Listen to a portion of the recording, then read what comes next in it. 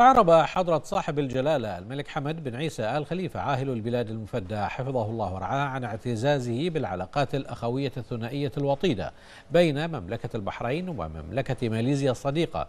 وما تشهده من نمو وازدهار متواصل على كافة المستويات في ظل ما تحظى به هذه العلاقات من اهتمام من قبل قيادتي البلدين الشقيقين.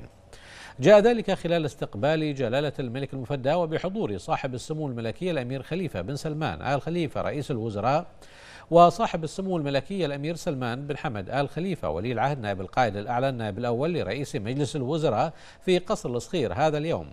سعادة السيد هشام الدين حسين وزير الدفاع بمملكة ماليزيا بمناسبة زيارته للبلاد حيث نقل إلى جلالة الملك المفدى تحيات وتقدير صاحب الجلالة السلطان محمد الخامس ملك ماليزيا. ومعالي السيد محمد نجيب عبد الرزاق رئيس الوزراء وتمنياتهما الطيبة لشعب البحرين بدوام التقدم والرخاء. ورحب العاهل المفدى بوزير الدفاع الماليزي وكلفه بنقل تحياته إلى أخيه صاحب الجلالة ملك ماليزيا ورئيس وزرائها وتمنياته لشعب ماليزيا الشقيق بالمزيد من التطور والازدهار. وأكد جلالته حرص مملكة البحرين على تعزيز وتوسيع آفاق التعاون المشترك مع ماليزيا الشقيقة لا سيما في المجالات العسكرية والدفاعية. مقدرا جلالته سهامات ماليزيا الشقيقة في دعم الأمن والسلام في المنطقة بما يعود بالخير والنفع للجميع.